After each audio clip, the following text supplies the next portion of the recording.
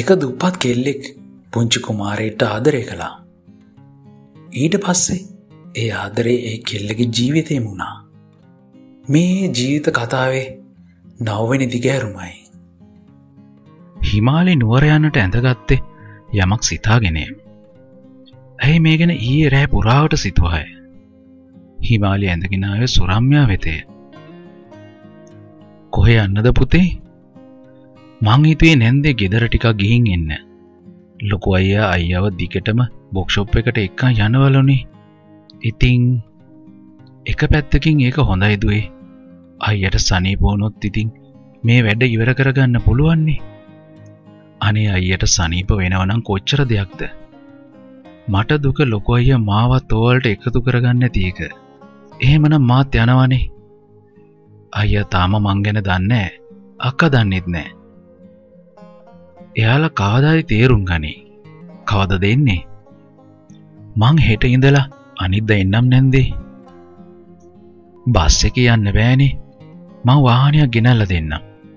කමක් නෑ නැන්දේ. නුවර යන්නට සුදු කාර එකක් ගෙනවිත් දෙනවා නම් ඇය දාසය. දැන් බස්සල ගාටන්නට කොහොමත් හිතක් නැත. මොරගඩ පවුලේ ලේලි බස්සල ගියාම යාලටමන නින්දාව හිමාලි ඇතුළින් සිනාසිමෙන් සිතුවාය. හිමාලි ගෙදරගේ සුරම්යා ගෙනෙද්දුන් ලස්සන සුදු කාරය නැගිය. එහි පිටිපස අසුරට වී යද්දි හිමාල්ට දැන්නේ පුදුමාකාර ආඩම්බරයකි. මේ සැප ජීවිත කාලෙ පුරාමතියාගන්න ඕන. නැත්තං වැඩක් නෑ. එහෙම වෙන්නේ විමුත්තියෝ බැන්තොත් විතරයි. මට රැජිනක් වගේ ඉන්න පුළුවන්. නිකම්ම නිකං හිමාලි වෙලා වැඩක් නෑ.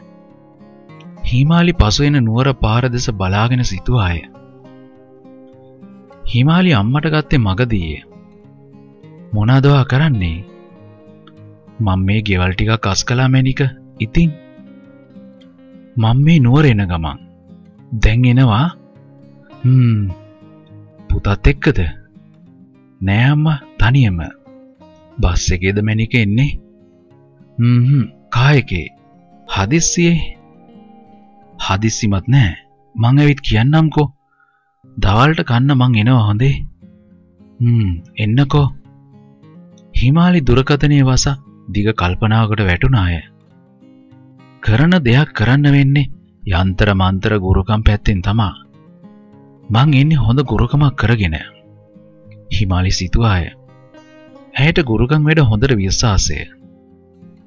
සක්විති පවා මට ඇදිලා එන විදියට ගුරුගම කරන් එන්නේ.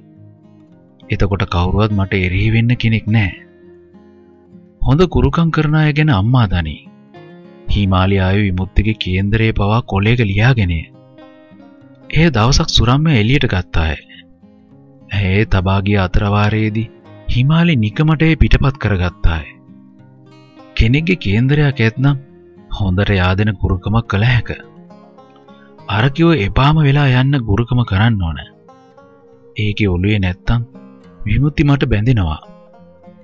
ඒකි තින්වන නල්ල මලේ බඩුව වගේ මෙයා ඇදිලා යන්න ඇති. ඒ දවස්සල මං ආවනං මං එකයි විමුත්ති යාලු වෙන්නේ. හිමාලි සිතු එහෙමය. ආදරයක් යනු සංසාර ගතිත් සමඟ බැදෙන බැදීමකි. ඒවා බැඳෙන්නේ පූරාත්මවල කළ කීදෑ අනුවය. ඒ බව හිමාලි ඇත්තරම දන්නේ නැත. කෙනෙකුගේ පපුේ ආදරයක් පැල වූ පසු ඒ වඳ කරන්නට අමාරුය. මෙරි මැරීත් ඒ පපුය පැළවන්නේ ඒ ආදරයමය. ආදරය දුකක් යැයි කියන්නේ මේ රුදුරු තෘෂ්ණාව නිසාය. විමුත්තිර සියාපු ගමන් යා අරකිළඟට යන්න පුළුවන්. එහෙම නොයන්නයි ගුරුගම කරන්න ඕන. සනීප වෙච්ච ගමන් එයා මාව දැකළ මත්තෙන්න ඕන. එක පාරක් මන් ළඟට ආවම ඇති. මං සදාකල්ම එන විදියට එයාව පිස්සු අට්ටනවා. හිමාලි අධිෂ්ඨාන කරගත්තේ එහෙමය. ගුරුකං එකක් නෙමේ දෙකතුනක් කරගෙන හරි තමා මං එන්නේ. මහා ගෑනිට නම් ගුරුකං කරන්න ඕන නෑ. වාශියත් දැම්ම වගේ මට ගෑනි වශි වෙලා ඉන්නේ. හිමාලි ආවේ එද්දි සුරම්‍ය දුන් රුපියල් විසි පන්දහසද රැගෙනය.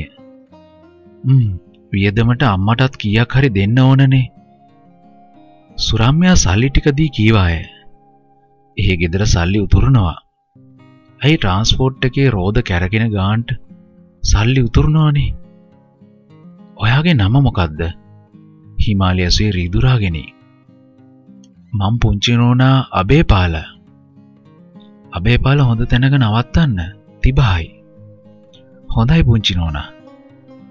අද වරකාපොල පනින්නටත් පෙර තිබාවී ඇත්ති වෙනදාට පිටකොටෙන් ගිනි කාෂ්ටකේ නැග වතුර පොදක් නැතුව නුවරින් බහින හිමාලිටේ. අබේපාල නැවත්වේ තරමක් හොඳ අවන්නලක් ඉදිරියේ.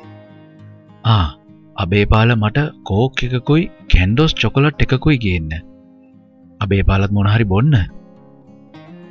හිමාලි දිගුගලි පන්සීය කොලේකි. කාලෙන් කාල්ට එක එක ගෑනු. එකෙක් යනකොට තව එකෙක්. අබේපාල බැස්ස එසී සිතමිනි. ප්‍රියංගදා වාශාව තීවිරයෙන් බස්සාගත්තේ පරිස්සමනි. අද කෙල්ල වෙනදාට වඩා පින් පහටය. සුදු ගැබිනි ඇදුම ඇඳ කොන්්ඩේ එකමිටකට බැඳ පුතුමාකාර චාම් පාටකිනුන් කෙල්ල දරු ප්‍රසූතියට ආශාවෙන් සූදානාම උන්නාය. මේ චුට්ට පයින් නැවිදගෙන යනයක තමා වැඩේ. මෙතන සිට ශ්‍රීමහා බෝධි මළුවට සෑහෙන දුරක් ඇත. ඒ දුර ආයුත්තේ පයිනි. හෙමින් හෙමි යම්ප්‍රියා මට හෙම අමාරුවක් නෑ. අද විතර නෙනේද අනේ අනිද්ද වෙද්දි පැටිය ඇවිත්නේ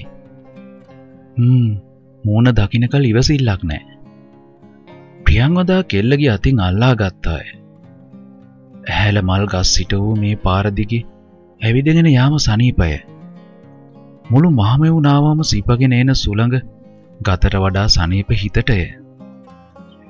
ප්‍රියා කෙල්ලේ පැටියා ලැබුණට පස්සේ අපට හෝටලේ පටන් ගන්නම වෙනවා. මට තේරෙනවා කෙල්ලේ බැංකවේ තිබ්බ සල්ලි තිවරයි නේද? අනි ඒකට කමක් නෑ. මං කිව්වේ අපි හතර දෙනෙක්නේ. අපි කරමු. අපට වරදින එකක් නෑ. තව ටික කාලයක් මෙහෙම ඉන්නත් ඕන. නේද ප්‍රියා? ජීවිතයේ ප්‍රශ්න විසඳන්න දෛවයේ ගන්න කාලය කොහොමත් ගන්නවම තමා කෙල්ලේ. වර්ෂා මොහොතකට නැවතුනාය. ඇයට හතිය. ටිකක් ඉඳගෙන යන් කෙල්ලේ. හදිස්සි නෑනේ. කොන්ද දිගේ එන ඇවිල්ලිල්ල තම අමාරු. හිරි වෙඩ්ල යනවා. ප්‍රියංවදා කෙල්ලව ටිකක් ඇහැල ගහක් යටව් සිමේන්ති බංකුව ඉන්දිව්වාය